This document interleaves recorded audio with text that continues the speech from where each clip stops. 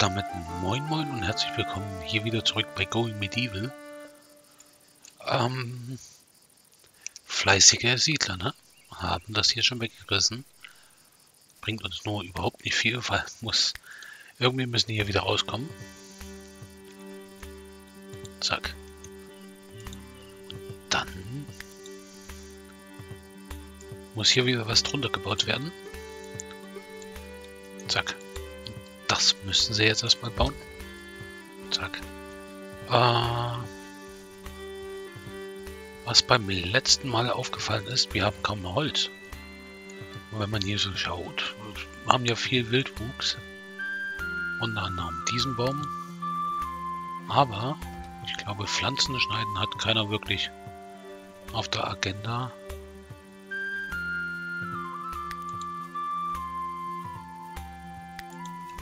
Adolf, Aldulf hat ja jede Menge schon so zu tun.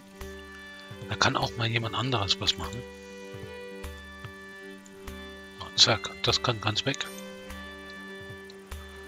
Das ist unsere alte äh, Holzfarm, die ja nun die ja nun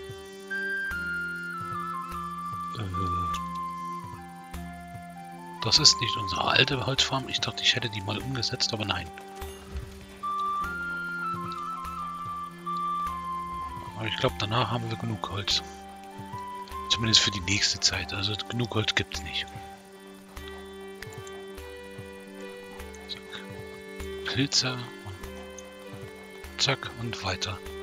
Weil jedes Mal kommt immer die Meldung, äh, nicht genug Nahrungsreserven. Genau nicht genug Ressourcen in dem Fall.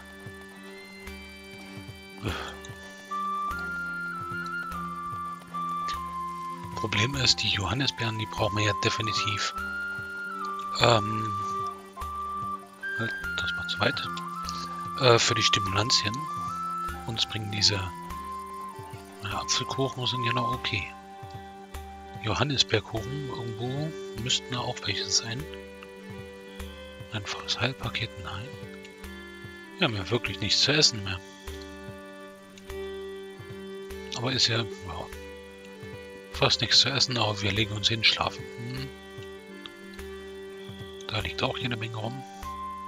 Aber wir haben es geschafft, ganz clever und ohne Probleme hier nach unten zu buddeln. Ich bin ja schon ein Stück begeistert. So.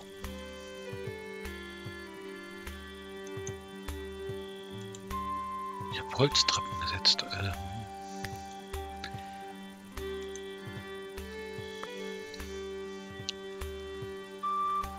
auf lange Sicht glaube ich nicht das cleverste, was man machen kann.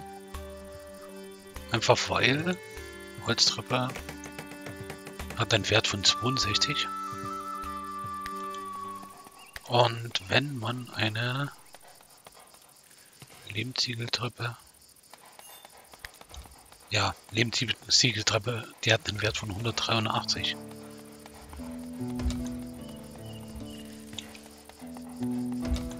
Zack. So, und der Wert beschreibt ja im Endeffekt nur Enota, warte mal. Ach nö. Guter Traum, das ist ja hübsch.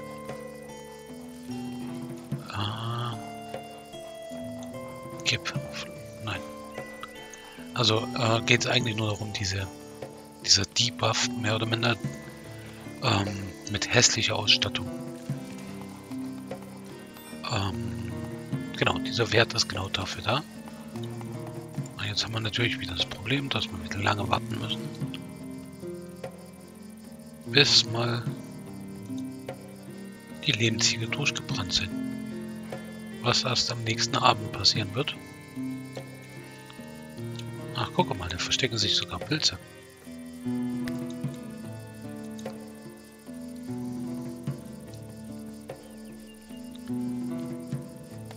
Naja. 43 Holz noch auf, äh, im Lager, aber 12, 24, 82, also hier liegt noch genug Holz rum.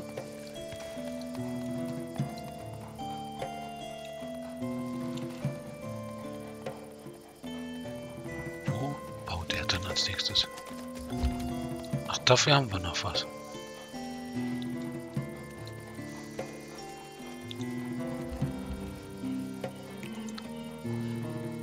Komisch.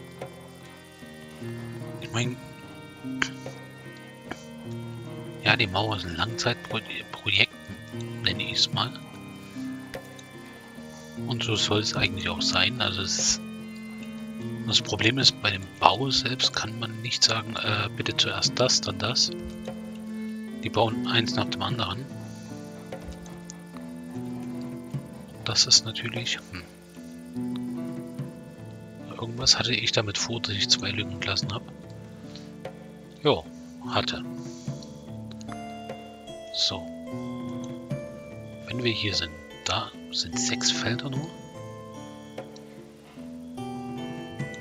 Reißt man den Apfelbaum ab, den Apfelbaum.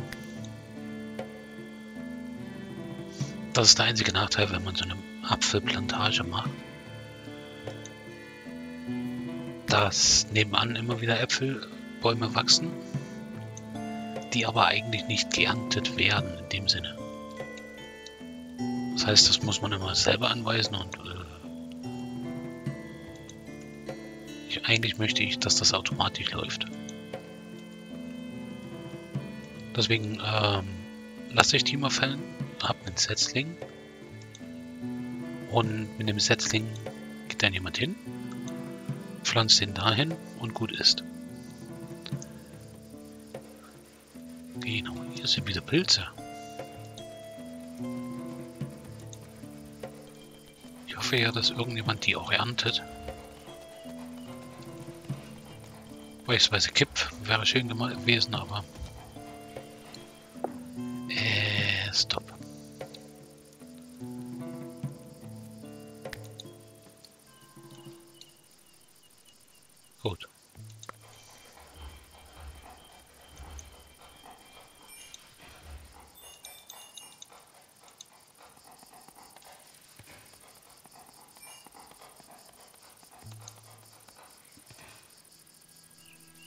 Ja, so viel zu. Hm.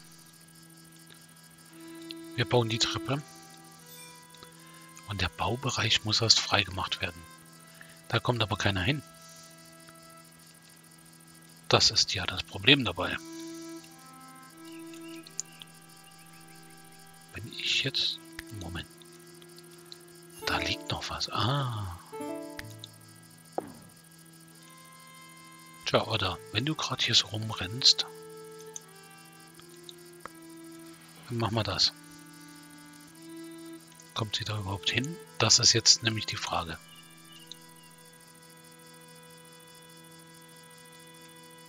Dass sie das nicht macht, scheinbar nicht.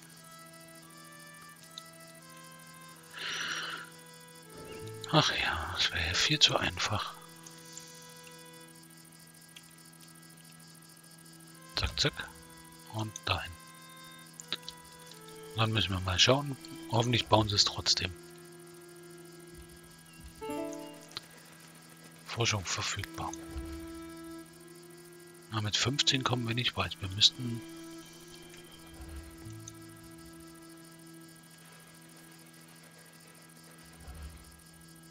Wieso habe ich nur 15? Schmelzen, Schmieden, ist das? Ah, da fehlen noch zwei. Zwei Lehrbücher noch und dann hätten wir zumindest die Imkerei.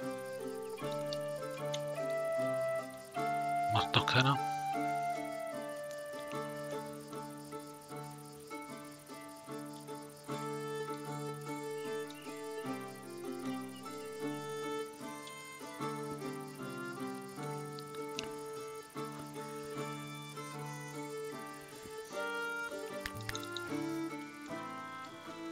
Cool. Naja, also das wird zumindest schon mal angebaut. Der verschwundene Weizen oder Gerste. Gerste. Hm. Ist inzwischen auch da.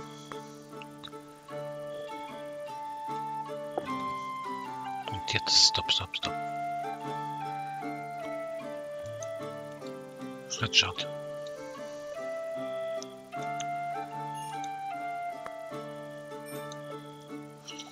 Ressource nicht verfügbar für Lieferung. Doch, die liegt hier. Ähm, ja, zum, zur Gerste.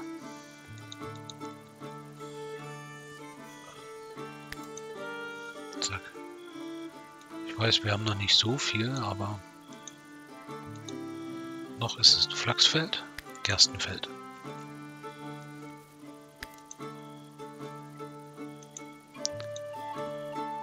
Erweitern macht mehr Sinn, ja.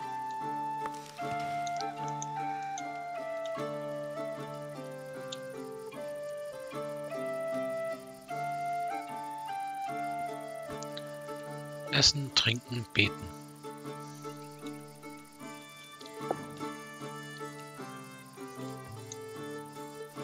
Das habe ich genau gesehen, genau. 40 Lebensziegel.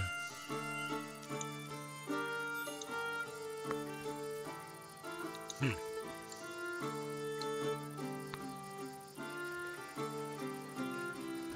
Der Bereich muss erst freigemacht werden. Der Bereich kann aber nicht freigemacht werden.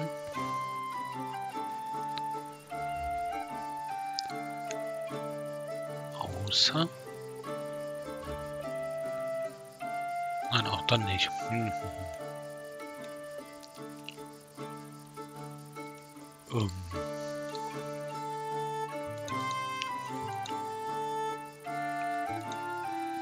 Wenn ich da jetzt eine Holztreppe hinbaue, weil... Sieht ja, die ist relativ offen. Wird die dann jetzt gebaut?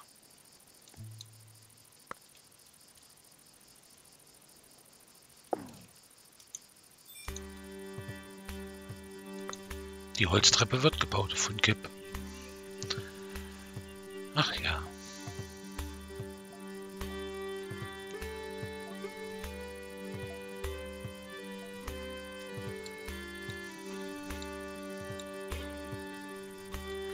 Die Holztreppe soll gebaut werden von Kip. Aber nein, Odda macht's gut. Dann kommen wir nämlich auch dahin, wo wir hinwollen.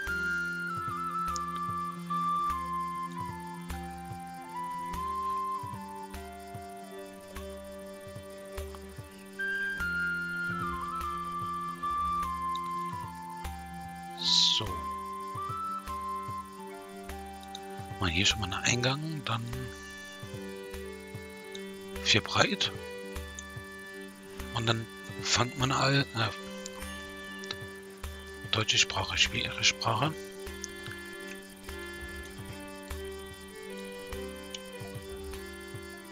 Fangt mal an. So.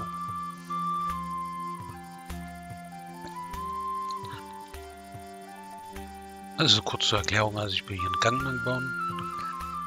Hier erstmal den ersten Weg rein. Wir haben ja einen relativ langen Gang hier schon. Obwohl da auch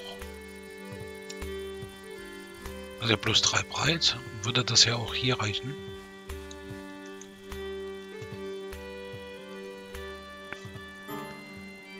Man kann hier keine Treppe hinsetzen, ne? aber so schräg durch die Wand bauen.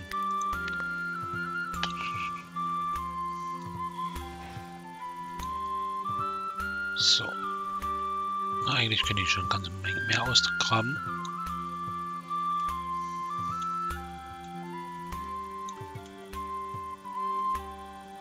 Wir haben hier eine Stabilität von 3, 2, 3. Es sollte eigentlich nichts passieren, hoffentlich. Das einzige ist natürlich hier.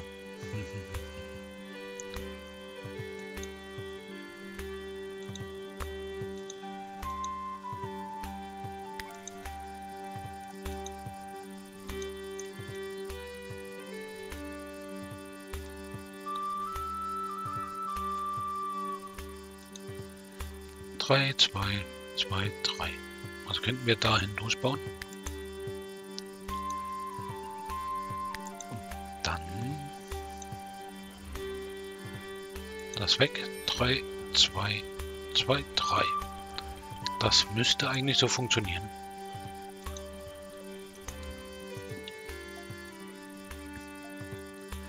Wobei man dann hier lang noch ähm, na, wie heißt jetzt? Holzbalken, ja, oder Balken allgemein durchziehen kann. Für die Stabilität.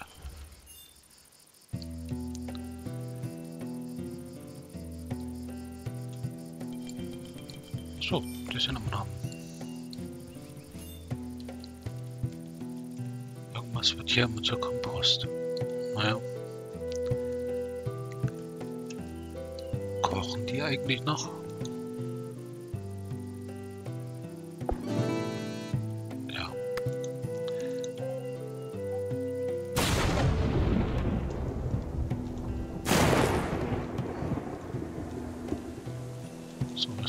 Kaputt gegangen? Ähm, Torshammer. Nee, das ist gut.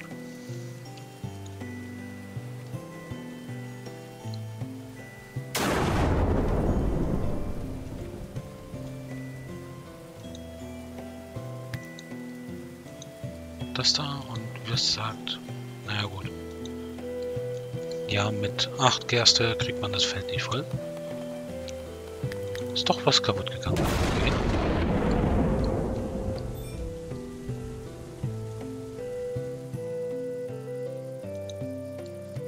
So, genau. Hier sieht man jetzt, Aldulf pflanzt jetzt die Apfelbäume.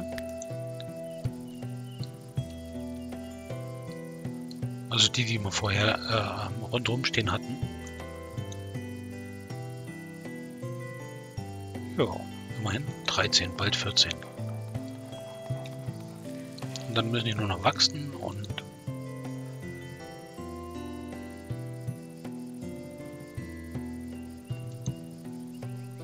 in 14 Tagen und 13 Stunden haben wir dann endlich auch Äpfel.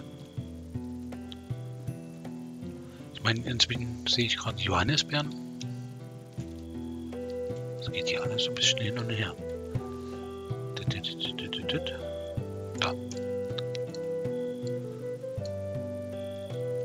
Für den Notfall wären Johannisbeeren da. Der Notfall wäre aber auch, dass der Alkohol ähm, ja, dann zur Neige geht Deswegen haben wir jetzt die Imkerei schon. Haha. So, die Imkerei.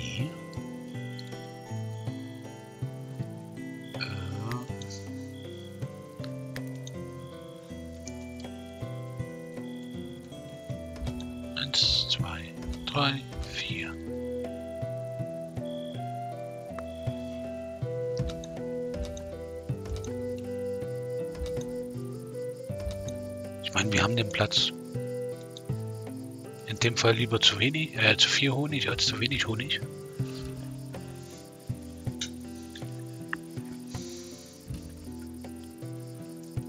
So, was brauchen die noch? Die brauchen eigentlich...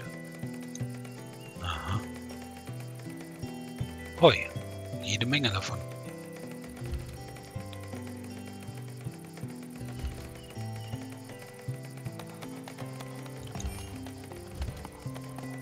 Sagt, das geht sogar wunderschön schnell. Nein, nicht nur eine Menge, sondern immer, also zumindest am Anfang. Immer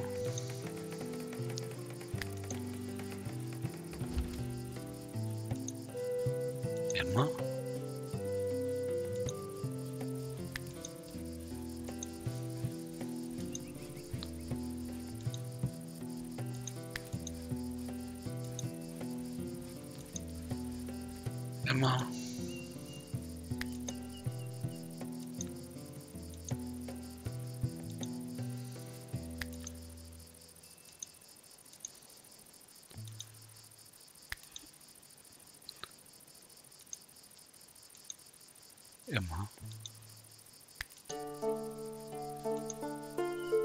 Und immer wieder. So. Fliegen jetzt hier schon Bienchen rum? Nö, weil es keinen interessiert. Wer ist denn Tierhaltung?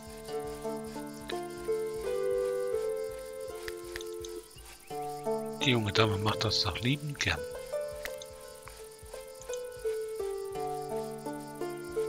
Glaube, das war das. Na, aber fliegen wunderschön schon Bienen rum. Sieht eigentlich nicht mehr schlecht aus. Gefällt mir. Schön, noch mit ein bisschen Sonne drauf. Genau. Damit haben wir zumindest Honig. Wir haben Bienenwachs. Das heißt, es sollte einigermaßen auch jetzt Essen mit reinkommen. Wir haben abgebaute Rohstoffe, die ruiniert sind, aber ja, was möchte man anderes erwarten? Ja. Zack, erster Balken rein. Genau. Und die Siedler haben sich wieder zu, äh, zu Bette äh, gelegt. Und eigentlich wollte ich die Folge soeben beenden. Aber da kommen die... Was? An Krähenjünger. Hm. Was haben die denn Schönes? Naja, nicht so viel. Ich denke, das schauen wir uns einfach beim nächsten Mal an. Für heute erstmal vielen Dank fürs Zuschauen und ja, bis zum nächsten Mal zum Angriff der Angrenjünger. Ciao, ciao.